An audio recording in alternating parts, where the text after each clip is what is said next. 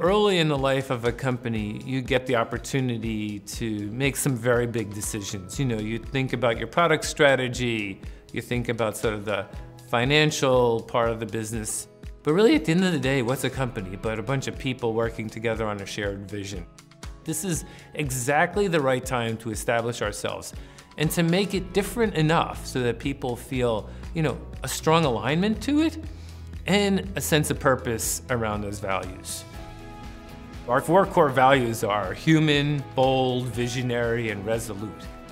The most important part in developing core values is it cannot be a top-down effort. I mean, it never really works then. And so it really needs to be, you know, from the totality of the sort of sentiment and feeling of the organization. Who are these people and, and what do they believe and how do they want to live and, and who else do we want to recruit? And so you know, as we've gone along, we've thought about like what is different about us. I love answering that question. It starts by being human. For me, human is really all about starting with a deep level of respect for each other. At One Up Health, I feel empowered to be a mother, a friend, a volunteer soccer coach, and bring all of those experiences with me when I come to work, and I don't have to check them at the door. And I think that really brings some of the value to our entire team here.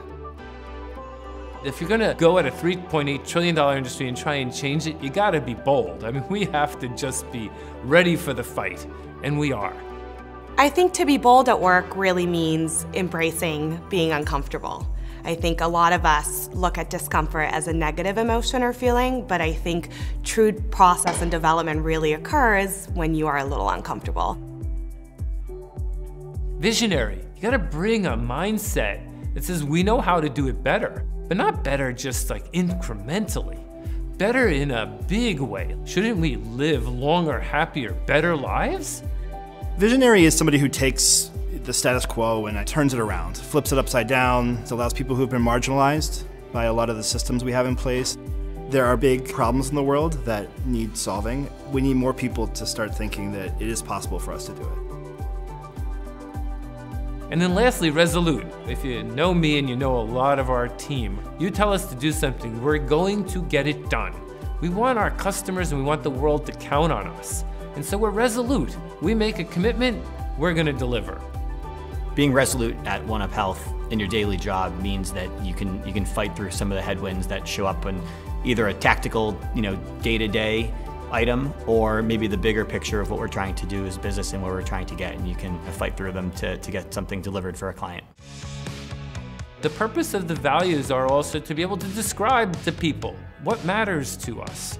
This is the opportunity for us to be different, the opportunity for us to create, the opportunity for us to own and reflect back to the world for every one of us. Every day that we can reflect those core values, we're all going to each individually get a return. Today, tomorrow, for the future of our company,